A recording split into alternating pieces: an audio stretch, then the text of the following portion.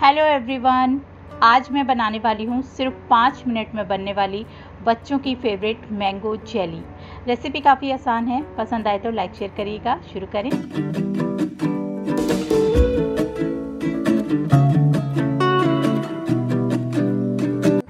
आम की जेली बनाने के लिए मैंने एक पका हुआ आम ले लिया है।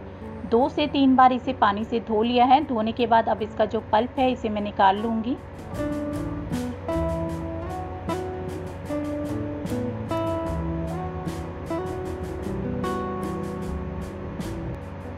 आम का पल्प निकालने के बाद अब मैंने एक ब्लेंडिंग जार लिया है और इसमें इस पल्प को डाल देना है ताकि मैं इसे ब्लेंड कर सकूँ।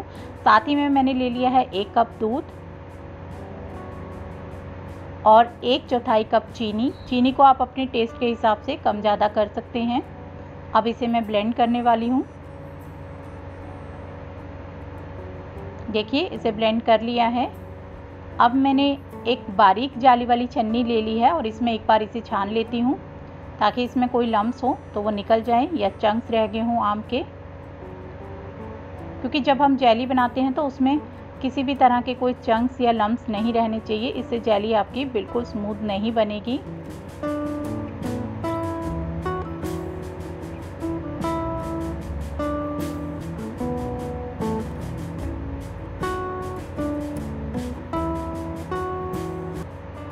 ये देखिए, मैंने इसे छान लिया है। अब मैंने लिया है कॉर्नफ्लावर तो कॉर्नफ्लावर मैंने लिया है लगभग एक चौथाई कप और साथ में एक चौथाई कप ही दूध ले लिया है और इन दोनों को अच्छे से मिक्स कर लेना है।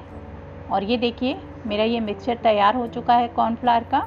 अब मैंने फ्लेम ऑन करी है और इसमें रख दिया है एक बर्तन और इसमें डाल दिया है जो मैंगो का पल्प हमने छान के रखा है।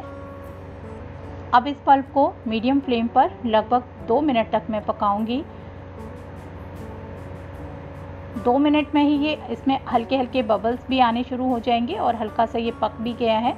अब इसमें मैं मिलाने वाली हूँ ये कॉर्नफ्लावर कॉर्नफ्लावर बहुत ही जल्दी से नीचे बैठ जाता है।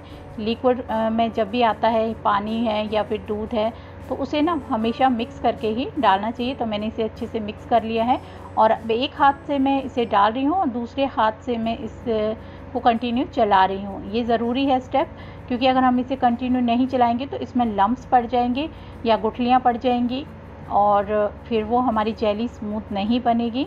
तो इसीलिए इसे कंटिन्यूसली चलाते रहना है। मीडियम फ्लेम पर लगातार चलाते हुए मुझे पाँच से छः मिनट हो चुके हैं और देखिए अभी इसकी कंसिस्टेंसी बढ़िया सा गाढ़ी हो चुकी है। और अब इसमें मैं खट्टा मीठा टेस्ट देने के लिए आधे नींबू का रस डाल दूँगी। अगर ज़्यादा मीठा हो गया हो तो फिर खट्टा मीठा हल्का टेस्ट हो जाता है। तो इसीलिए मैंने नींबू का रस मिला दिया है। और अब इसे बढ़िया सा मिक्स कर लेना है ताकि सब जगह पर नींबू का रस एक सार हो जाए।